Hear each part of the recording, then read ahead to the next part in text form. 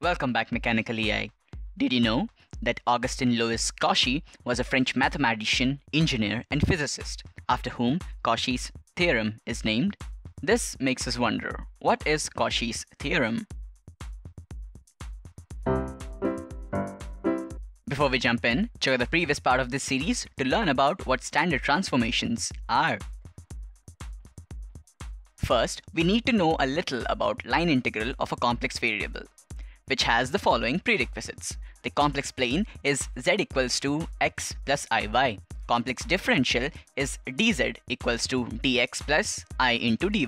A curve in this plane is given by gamma of t equals to x of t plus i into y of t, defined for closed interval of a comma b a complex function f of z is equal to u of x comma y plus i into v of x comma y. Given these prerequisites, we define the complex line integral in the plane gamma as integral of z dz in gamma equal to integral of a to b f of gamma of t into gamma dash of t dt. A region is said to be simply connected if any closed curve in that region can be shrunk to a point without any part of it leaving a region.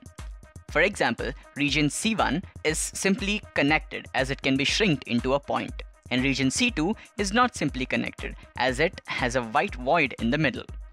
Cauchy's theorem states that if f of z is analytic everywhere within a simply connected region, then closed integral of f of z dz is equal to 0 for every simple closed path C lying in the region.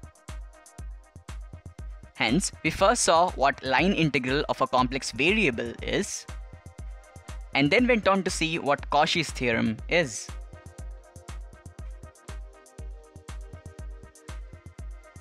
So like, subscribe and comment with your feedback to help us make better videos. Thanks for watching. Also, thanks a lot for those constructive comments. You help the channel grow. So, here are the top mechanical EIs of our last videos. In the next episode of MechanicaLEi, find out what properties of line integral are.